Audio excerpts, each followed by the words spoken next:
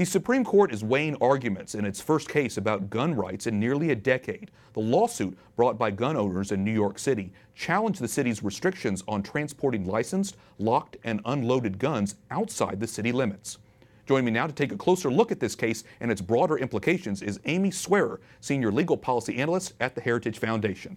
Amy, welcome into the broadcast. Thank you for having me. Let's start with just a central question in all of this. New York City repealed the rule at the center of this case last summer. So, why is this case still going before the Supreme Court? So, this case is still before the Supreme Court primarily because of when, why, and how New York went about changing its laws. So, New York waited until after the Supreme Court had granted cert in this case, decided to hear the case, and then it slightly changed its laws, loosened the restrictions a little bit, um, only because it saw the handwriting on the wall that said the Supreme Court is probably going to strike this down. So the plaintiffs in this case are essentially arguing look, New York has not been acting in good faith. We have no promise that if the Supreme Court doesn't rule on the merits, that New York is not just going to go back, either undo the law or enforce it in an unconstitutional way. The owners for the gun, uh, the attorneys for the gun owners who originally brought this case say there's still a live issue to be settled here. So, what are the broader Second Amendment implications at play here?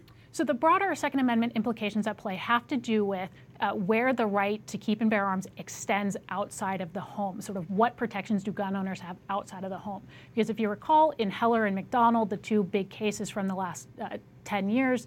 In those cases, the Supreme Court determined, you know, that there is an individual right to keep and bear arms inside the home, particularly for handguns. But it didn't expand that ruling beyond that. And, and so the big issue now is, you know, what protections do gun owners have outside of the home, uh, whether through concealed carry, whether through the transportation of firearms. And so those are the main issues being decided in this case.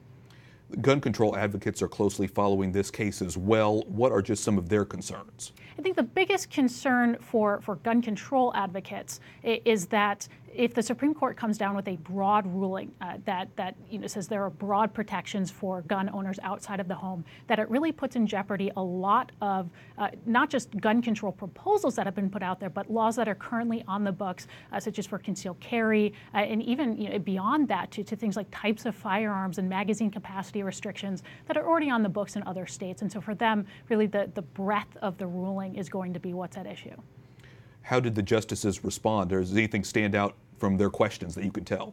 So it's always hard because you, you don't want to read too much into the questions that are that are put up at oral argument. Uh, but what was interesting to me was that even from some of the more liberal justices, uh, when it got to the merits and the logic of the case itself, of the restrictions themselves, even some of the more liberal justices, like Justice Ginsburg, for example, seemed to question the logic of some of the, the transportation laws and just how strict they were, uh, be, you know, for, for reasons like uh, you know, if a person can stop at a second home but not at a vacation home, for example, you know, why would we want them to leave the gun unattended in the home that they're no longer in? Um, so, so sort of the, the logical analysis of that seemed to come up even from the liberal bloc.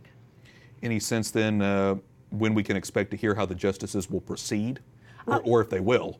Well, so my guess is if they determine that the case is moot, we, we might hear that pretty early on in the term. Uh, however, if they determine, you know, like this case is not moot, we're going to move on to the merits. Uh, it's really, you know, who knows when that might come out. It can come out really, um, you know, any time from now to the, the end of the term itself when we're looking at late spring. Um, so you know, that's that's always your guess is as good as mine, and it really just depends on really the, the route the court wants to take here if the majority of the justices is persuaded that this case is moot, are there any other Second Amendment cases that could come before the court this term? There are. So there are several uh, that actually seem to touch more on substantive issues, such as concealed carry. There are a couple that are challenging uh, what are called may issue permits in, in several states. There are also uh, challenges to laws that restrict magazine capacity, and even some more assault weapons uh, ban challenges that are, are right now pending before the court in a cert petition stage. Um, so given that the at least the, the more conservative justices have indicated a willingness to take on these Second Amendment issues in a way that they haven't for the last decade. Uh, that may be something that does happen where the court says this case is moot, um, but we might look at one of the other cases in the pipeline. Okay, we'll continue to keep our eye on these cases to see if everything does come through the pipeline. And obviously, like I said, it's a big important issue for the broader implications of the Second Amendment. Amy Swearer, Senior Legal Policy Analyst at the Heritage Foundation, thanks so much. Thank you for having me.